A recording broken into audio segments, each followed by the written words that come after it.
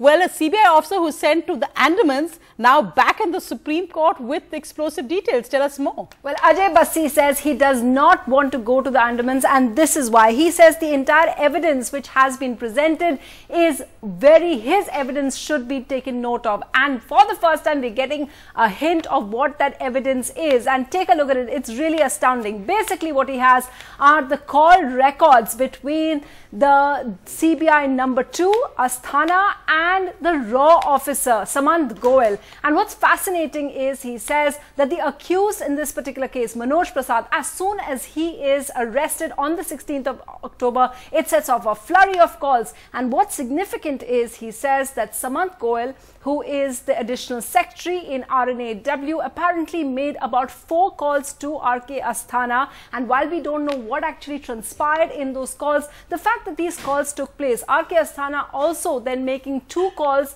immediately after and the calls taking place between 10 p.m. at night and 1 p.m. the next afternoon. Significantly, Manoj Prasad's father, Dineshwar Prasad, also a former RNAW officer, also making a call.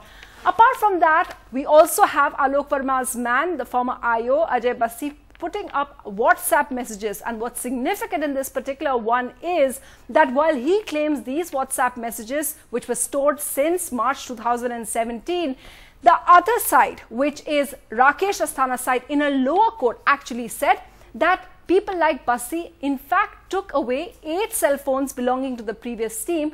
But what's interesting is in court, they only showed in the seizure memo one cell phone. So obviously lots of counter allegations there. They say that they're going to have charges against Ajay Bassi as well. And if you look at the WhatsApp messages, well, they spell a lot of trouble for Rakesh Asthana because what they claim are the conversations between Somesh Prasad, the accused, and his father-in-law, who is said to be the bribe giver, Sunil Mittal. And take a look at some of the messages. It says, Asthana to apna admi hai. Asthana is our man. And then also goes on to say that Asthana met with the accused Manoj Prasad three or four times and then apparently says that the RAW officer in this particular case told the accused, do not come back to India. What does it all add up to? And will the CVC actually say that all this evidence is right or wrong? That's something we have to wait for the next episode for.